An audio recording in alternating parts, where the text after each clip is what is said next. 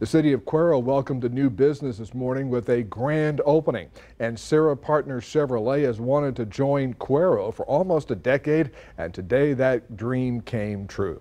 25 News Now reporter Trenton Whiting has the story. Trenton? Thanks, Don.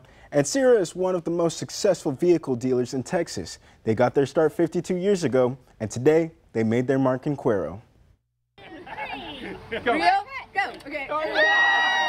Cuero welcomes the Ancira family's GMC dealership with a grand opening.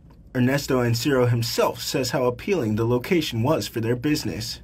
It just is an area that has a lot of prosperity in its future. So we wanted to be here. And, uh, and fortunately, we finally were able to put uh, the right numbers together, and, and we're glad to be here.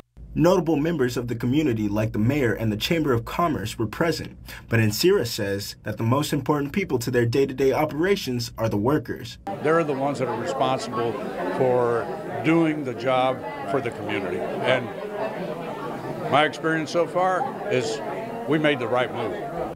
Food, drinks, and cake were served in one of the Ancira Partners' biggest ever ribbon cutting events. This is a significant amount of people to come out to the opening of a new store. We've had plenty of ribbon cuttings. We've been blessed at Ancira, and uh, I'm, I'm, not sure I've ever seen this amount of participation. I really feel like their arms are wrapped around us, so look forward to giving back to them too.